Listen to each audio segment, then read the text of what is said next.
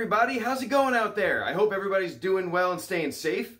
Today is super exciting. We're going to be talking about the electric panel. I cannot wait to get into it with you guys. Let's suit up and get it done.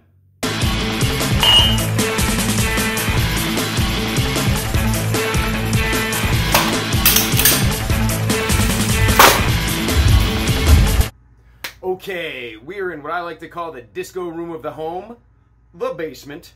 This one unfortunately does not have a disco ball, but that can always be rectified. Right behind me we have the elusive and exciting electric panel. I'm going to open this up right now. What do we see? A bunch of switches. I don't know. What do they mean? What do they do? We're about to get into that. Electricity is made at the power plant. From there, it's sent all the way into your electric meter. From there, into your electric panel. Now, I'm going to start taking the electric panel cover off so we can see the guts of this thing. Now, to be clear, I'm a trained professional which is amazing. I'm going to take that front panel off. Do not try this at home. Woo, that was some hard work. But I was able to get that front panel off. Before I take everybody in there and we get in that nitty gritty stuff, I'm going to go over some fundamental basics. When we talk about residential electric systems, you might hear two terms, amperage and voltage. I'm going to simplify this pretty dramatically. There's a lot of good information out there, uh, but we'll kind of stick with this for the meantime. We think about voltage being 110 volts. Most things in the home is going to be using 110 volts. You imagine a light bulb that's pulling 110 volts, let's say a thousand times a second. We'll consider that being one amp at 110 volts. Amperage meaning the amount of 110 volts that's flowing through something at any certain period of time. A big old beefy shop vac, you might say, that's pulling 5,110 volts a second. You can imagine that being 5 amps. Pretty straightforward. This home in particular is using 200 amps, so that could run a heck of a lot of shop vacs, guys. You clean up the whole neighborhood with that.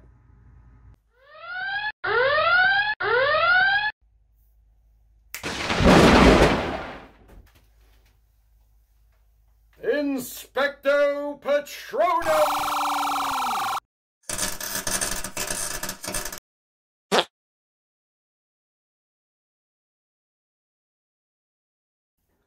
This is your main circuit breaker. You can see the 200 on the switch here. That relates to the 200 amps that this is protecting or allowing through.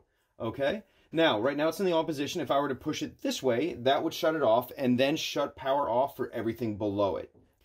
As you can see, the smaller breakers below the main also have numbers on them. In this case, this says 15 15 amps is going to be allowed through the wiring associated with this breaker. If we use the same example as we did before, that means that we'll be allowed to use three shop vacs in this room.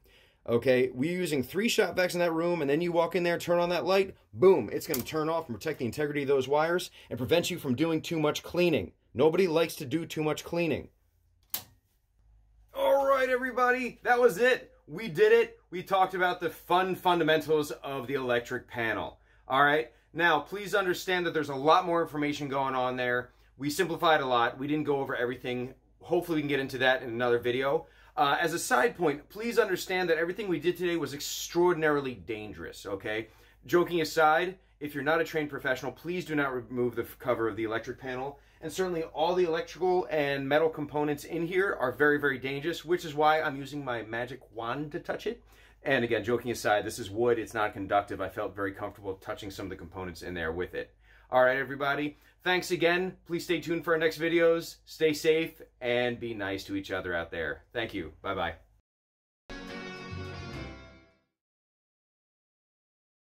I can't wait to tell you about what we're doing. Boobity boo. Sent all the way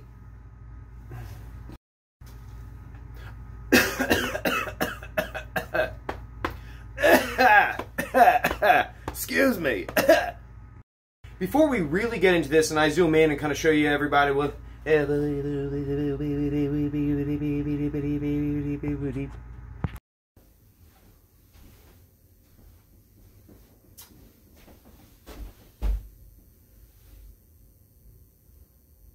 Hey.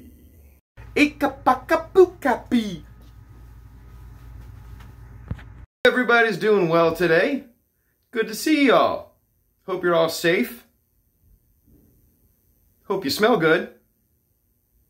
I don't.